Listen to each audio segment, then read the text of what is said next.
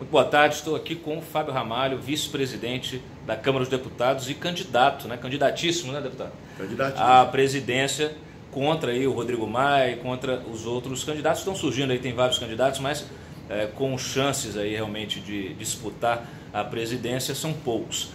Bom, é, vice-presidente, ontem o senhor esteve com o presidente da República, Jair Bolsonaro. Como é que foi essa, essa, essa conversa com ele? O senhor levou linguiça, levou queijo para ele. O senhor que é mineiro, né? Fala um pouquinho disso. Primeiro eu quero afirmar a você que eu não sou contra ninguém, eu não sou contra Rodrigo Maia nem contra ninguém. Rodrigo já fez o trabalho dele na Câmara, fez algumas coisas boas e deixou muito a desejar para o parlamento. Esse parlamento tem sido tocado muito ruim. Durante um ano, a mesa reuniu quatro vezes. Duas vezes para caçar um deputado inconstitucionalmente que não deveria ter sido feito, acabando com a prerrogativa nossa do parlamento e, sobretudo, contra a Constituição brasileira, no artigo 56, parágrafo 2, que determina que o parlamentar só pode ser cassado pelo plenário da Câmara, que é soberano. E tem feito muita falta de coragem naquela cadeira. Nós temos que ter coragem para defender o parlamento e, sobretudo, as prerrogativas nossas e a nossa Constituição. Então eu sou um candidato independente que procura, neste momento, o voto de cada parlamentar. Não procuro fazer nenhum conchavo com esse ou aquele partido. Nós temos que acabar com essa panelinha, onde que 20 pessoas reúnem uma casa, 10 uma outra, e não se resolve nada. Vem, vai, vamos entregar a reforma da Previdência que não foi entregue mas o governo entregou ministérios, entregou agências, entregou quase que a metade do governo, entregou emendas e essa reforma não veio. Nós temos que acabar com esse toma lá da cá. As reformas são necessárias? São. E eu posso afirmar que eu farei essas reformas, indiferente de ganhar ou não, mas eu vou ganhar a presidência. Farei e votarei as reformas de graças, mas uma reforma que seja discutida com o parlamento, que é o protagonista principal dessas reformas. Foi isso, re... Foi isso que eu falei com, com o presidente com Bolsonaro, que eu sou um candidato independente e que estaria trabalhando o voto de cada um, mas que eu afirmei, votarei as reformas de graça, porque é assim que o parlamentar tem que fazer. Nós temos que primeiro unificar a casa, fazer com que todos os temas que estiverem na casa sejam colocados e não que seja trocado por isso ou por aquilo. Vamos acabar com o toma lá da cá, vamos dar direito a todos os parlamentares de que eles tenham na legislatura uma propositura votada em plenário. Vamos dar ao parlamentar o direito de poder ter uma legislatura que ele possa levar a produtividade do seu, do seu mandato para o seu povo, para a sua região, para seu estado e para o Brasil. É dessa maneira que nós vamos mudar essa casa. Mudar uma casa, acabar com essa questão de baixo clero. Aqui é um clero só. Todos que estão chegando aqui merecem o nosso respeito e, sobretudo, vão ter vez, vão ser ouvidos, vão fazer com que possam fazer uma legislação honrada uma legislação corajosa, eu estarei à frente do comando da casa. Cercado, não sou um gênio, mas irei cercar das melhores pessoas que há para que a gente possa dar ao parlamento a altura do parlamento. O parlamento tem que ser e é o maior poder de Brasília. Por que isso? Porque o parlamento vem gente de diferentes regiões vem, vem representar a sua gente, vem representar as diferentes opiniões, ideias, gente diferente que a gente tem que chegar aqui, unificar para que a gente possa votar reformas, para que a gente possa ajudar o país e para que a gente possa, sobretudo, tirar 13 milhões de pessoas que estão desempregadas hoje voltando para o emprego dando dignidade. Procurar fazer uma segurança melhor para o Brasil. Procurar ajudar no sentido de que as prerrogativas sejam respeitadas, fazendo com que a corrupção seja sempre uma matéria que terá todo o nosso apoio para acabar com ela. Então é dessa maneira que nós vamos. Já temos aí que me fala que eu sou severino. Eu até acho graça, mas posso afirmar, é melhor me comparar com o Severino que ganhou a eleição do que com o Greenhal que perdeu. O Greenhal perdeu. Ele era o bambambam, bam, bam, mas perdeu a eleição. Mas eu não sou Severino, não. Eu, eu, eu tenho um projeto para essa casa, projeto para a mudança, projeto para quem chega e projeto para quem está aqui, que sabe que os seus projetos não andaram para frente. Eu estava aqui agora com o deputado Raul, que tem um projeto de reforma tributária, reforma tributária uhum. importantíssima para o Brasil. Que essa casa deveria ter tocado essa reforma, feito essa reforma, no entanto, não deu conta de fazer nem isso. Foi aprovada demonstra, só na comissão especial, né? Demonstra, sobretudo, que falta liderança na casa. Falta sentar na mesa, não 20 numa panelinha. A casa só funciona quando os 513 participam. Nós não podemos dar relatoria para duas ou três pessoas. As relatorias têm que ser melhor distribuídas. Nós temos que ter mulheres na mesa da mesa diretora. Nós temos que ter mulheres nas comissões, na presidência. Das... Nós temos que ter mulheres nas relatorias. Nós temos que fazer essa casa mais unida e mais participativa. Os 513 deputados têm que participar. Vamos acabar com a panelinha. Vamos mudar essa Câmara. E, sobretudo, vamos fazer um parlamento diferente, um parlamento onde a população pode ter certeza, vai se orgulhar de quem está aqui no parlamento. Deputado, o, é, a gente, tudo que o senhor falou, o senhor privilegia o diálogo, né? É, inclusive, é, o senhor é muito, às vezes, é, há muita piada em relação a essa sua, a essa sua, é, seu jeito de, de lidar, de fazer é, reunir as pessoas para comer um leitão a pururuca, né? aqui mesmo no seu gabinete tem ali ó, uma linguiçinha, uma linguiçinha que me foi oferecida logo quando eu cheguei aqui, o senhor ontem também levou uma linguiçinha para o presidente da república, é, mas no final das contas é, isso é, vamos dizer assim, é, uma, é, um, é, um, é, uma, é um método que o senhor tem é, para reunir as pessoas ao seu redor, para conversar é, sobre as pautas que são importantes de serem tocadas. Outra coisa, é, a gente tem visto nessas negociações da campanha né, para a presidência da Câmara, é, o Rodrigo Maia, por exemplo, é, prometendo aí, prometeu para o PSL, fez uma, uma, uma, aliança com o PSL, prometendo presidência né, de, da, da, de comissões, uh, e isso tudo é feito a partir dessas negociações com grandes blocos. Né? É, o cidadão normalmente não está acostumado com com esse tipo de, né, de, de, de, política interna da casa. Ah, qual é a sua opinião sobre isso? É, senhor acha que os partidos, muitas vezes você tem um partido com, que sai das urnas com uma grande votação, mas não consegue integrar um bloco e, e fica sem cargos importantes em comissões e na própria mesa diretora. Né? Como é que o senhor encara essa, essa questão? E se o senhor negocia isso de que maneira com, com, com, com os deputados é, para convencê-los a votar é, a, a, votar no senhor? Oh, a primeira coisa que eu penso é que a gente tem que respeitar o que veio das eleições. Então, nós temos que aprimorar o nosso regimento que está errado nesse sentido. Segundo, eu acho que você não pode fazer se tomar lá da cá. Fica. As, o próprio presidente Bolsonaro foi eleito, ele foi eleito com esse discurso. Eu sou contra o tomar lá da cá. Eu também sou contra o tomar lá da cá. Eu penso que a casa tem que sim, se fizer blocos, mas fizer blocos de partido, não exigindo isso ou aquilo, dividindo como manda as urnas, como mandou as urnas. Dessa maneira que eu penso. Então, eu não vou, eu não estou, eu não estou fazendo composição de, de, nenhum bloco. Quem quiser fazer blocos que faça. Eu penso que agora que tem um bloco do lado de lá, os outros partidos estão se, se, se, se fazendo, reunindo, um, se reunindo para fazer um outro bloco, no sentido de salvar, é, salvar a, a, os, os, seus, a, a sua, os seus espaços, uhum. interesses que o povo brasileiro mandou para cá. Então eu, não, eu penso que eu, como presidente, jamais farei essa troca-troca. Isso não é coisa de presidente. Isso tinha que ser coisa tocada pelos partidos que deveriam se reunir. E eu estou aqui sendo candidato para unificar a casa e acabar com isso. Unificar e acabar. para que a gente tenha um parlamento independente, livre e respeitado.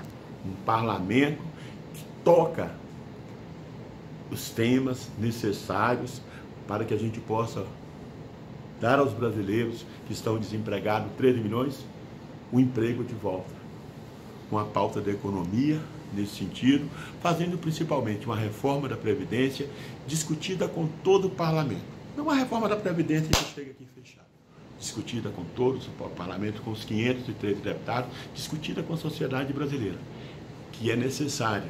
Eu sou do estado de Minas Gerais e vejo hoje que nós temos lá os inativos com problemas de recebimento.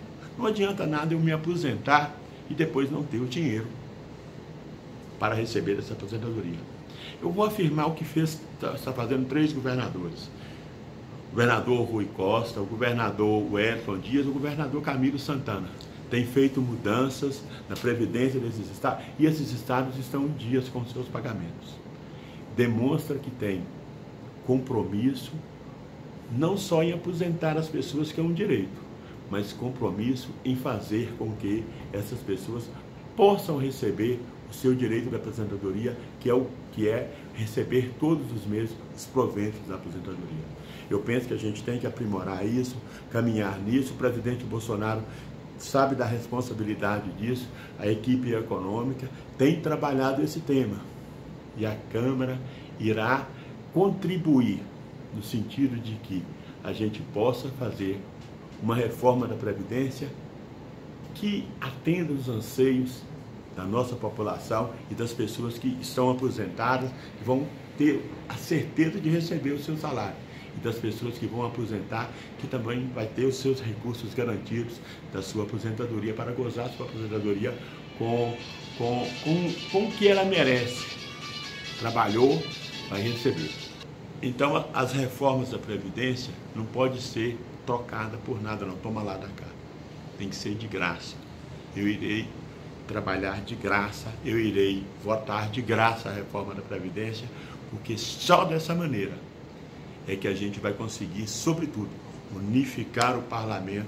A gente precisa de muitos votos para que a gente possa, através da unificação e de pegar os projetos cada parlamentar que tem um projeto no Superprevidência, a gente coloca o tema, que se vence a maioria, mas que a gente precisa fazer as reformas, mas discutidas com o parlamento, com os 513 deputados, que a gente possa fazer a pauta do pacto federativo com os estados, com os municípios, para que a gente possa fazer com que esses estados que hoje estão em estado falimentar possam iniciar um novo tempo.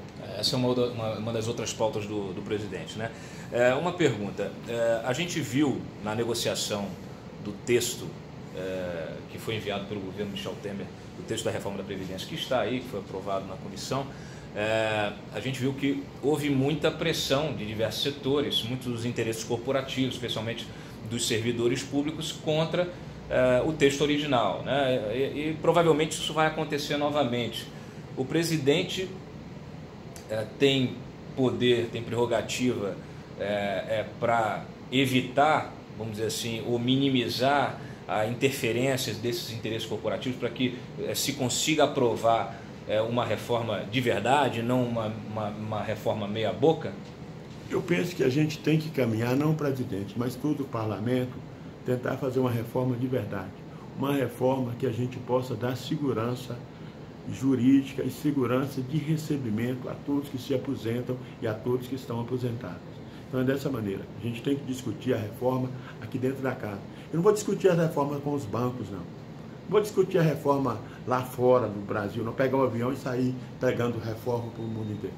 A reforma tem que primeiro ser discutida aqui na casa, votada aqui na casa, que é o nosso dever.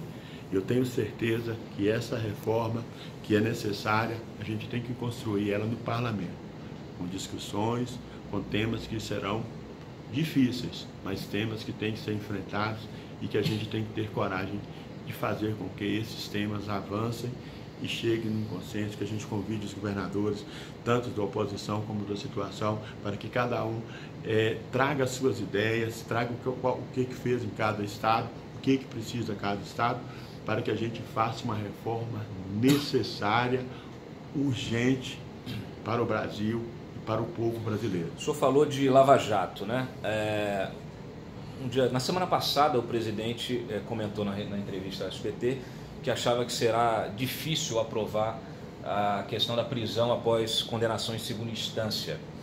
Qual a sua opinião? Você acha que, é, que é difícil? A gente per, é, percebeu que durante a gestão do Maia, por exemplo, é, as pautas pró-Lava Jato morreram, inclusive as 10 medidas contra a corrupção foram desfiguradas é, e surgiram, né, foram tiradas, retiradas da gaveta pautas contrárias a, a esses avanços institucionais da Lava Jato que hoje estão representados aqui é, com o ministro da Justiça, Sérgio Moro. É, qual é a sua opinião sobre esses projetos que são contra esses avanços institucionais da Lava Jato e se o senhor acha que, no caso específico da prisão em segunda instância, se realmente é difícil um Congresso, é, especialmente um Congresso renovado, que não vai ter é, tantos deputados é, com a, a espada do Judiciário sobre o pescoço. O senhor acha realmente difícil aprovar a prisão em segunda instância no Congresso, na, na Câmara? Não, eu penso que a questão, é, para se aprovar qualquer coisa na Câmara, precisa de votos. Então, na questão da, da prisão em segunda tem que ser uma PEC. Né? Uhum. A Constituição brasileira ela é bem clara nesse sentido. Então, se aprovar é, o tema, tudo bem. Se não aprovar, a gente tem, tem que estar dentro do que está a Constituição brasileira, que ela é sagrada. A questão da Lava Jato, ela já tem as ferramentas necessárias que há. Eu só penso que a, gente tem que fazer uma ferramenta mais avançada no sentido das delações. As delações, elas têm que ser, ter provas, a gente tem que dar a delação até mais poder, mas no sentido de ter a prova e também fazer com que o delator não saia bilionário. Rouba o dinheiro público, faz uma delação tome um ano de prisão e depois vai comprar um jato, vai comprar uma ilha na Grécia, vai comprar um iate e viver às custas do dinheiro roubado da corrupção. Então eu penso que a gente tem que fazer a delação, é um sistema bom, mas é um sistema para que a gente procure a prova e que o delator possa sim fazer a delação, mas possa entregar todo o recurso do roubo e esse dinheiro ele tenha direito aí, como a gente tem que aprimorar, como é nos Estados Unidos hoje. Como que é a delação nos Estados Unidos? Você faz a delação e você entrega os bens. E depois você tem aí um salário para a sobrevivência. Então eu acho que o delator ele tem que ser tratado dessa maneira. No Brasil, o delator tem sido tratado com muita benevolência. E não, não é somente fazer a delação. A delação tem que ter a prova comprovada para que ela valha e para que o delator possa ter os benefícios dela. Mas no caso da prisão em segunda instância, é o senhor que conversa, é, faz, a, faz questão de conversar é, com cada um dos deputados, o senhor vê é, uma, uma, uma tendência mais para aprovação disso ou mais para reprovação disso? Porque preocupou muito a sociedade é, que o presidente da República tenha dito é, que, que acha difícil. Né? É, o senhor não acha que um presidente que saiu com, uma, com esse, essa enorme aprovação popular, né, saiu das urnas aí com, com, com, muita força política neste primeiro momento e também com o partido, com a segunda maior bancada da Câmara, o senhor não acha que é, é um cenário diferente, uma Câmara que será também bastante renovada nos seus assentos? O senhor não acha que é um cenário muito mais favorável para a aprovação de um avanço institucional desse? Olha. E não deixar, perdão, mas não deixar isso é só na mão do STF, né? já que a gente, nas, nas, últimas gestões aqui na Câmara, como o senhor disse, fortalecer a Câmara. Nas últimas gestões, ah, ah, o que a gente viu foi uma judicialização né, da, da, política, um enfraquecimento institucional e o STF se metendo muito. Né? Então, todo tipo de é, projeto ia parar, acaba parando no STF, o STF decidindo é, é, sobre uma coisa que devia ser soberana do Congresso Nacional. Né? Como é que o senhor vê esse novo cenário?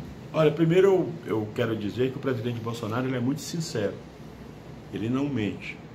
Ele, eu vejo que tudo que ele faz, ele, ele, ele, ele, ele, ele fala com sinceridade.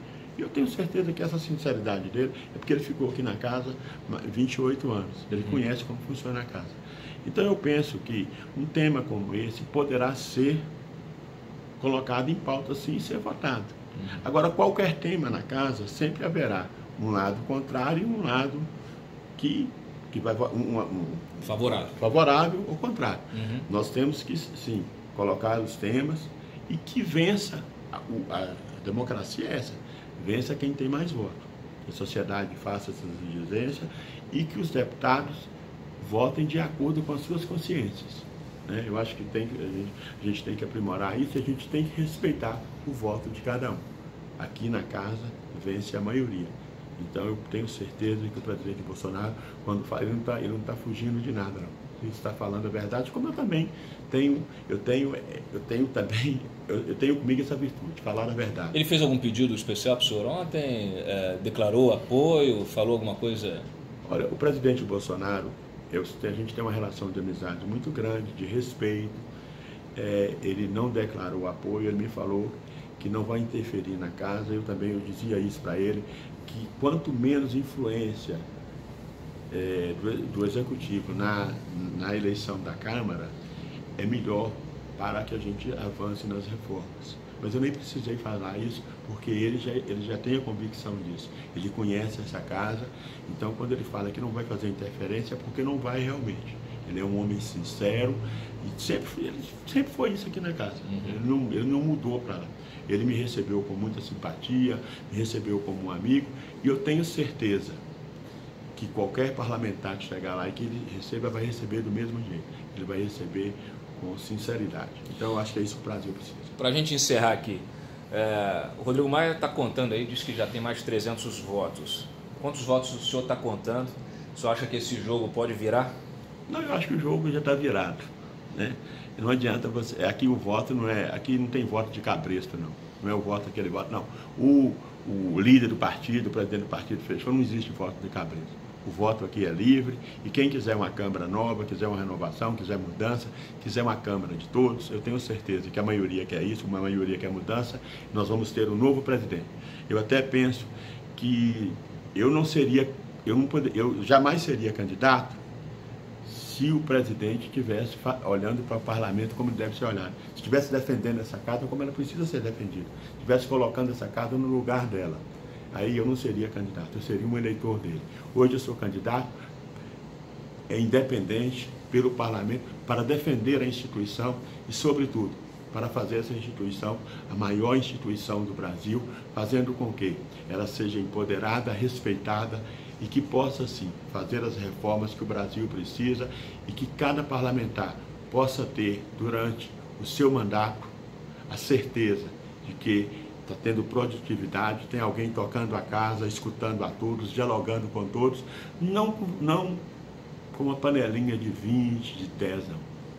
Conversando com os 513, conversando abertamente, tendo com eles o diálogo, o diálogo do entendimento para que a gente possa dar produtividade ao nosso trabalho e fazer dessa Câmara e dessa legislatura a maior legislatura que já tivemos com o apoio de cada um dos 503 deputados para que a gente possa realmente mudar a casa e fazer e acabar.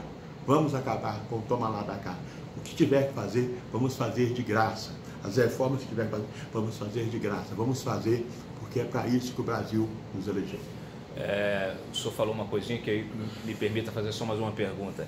É, o senhor fala em empoderar a casa. Para o cidadão, para o eleitor, é, ele às vezes fica na dúvida se fortalecer a casa é fortalecer o corporativismo da casa ou fortalecer o papel institucional da Câmara como casa do povo, né? onde que realmente seja uma caixa de ressonância que reverbere os anseios populares. Qual é a diferença entre uma coisa e outra?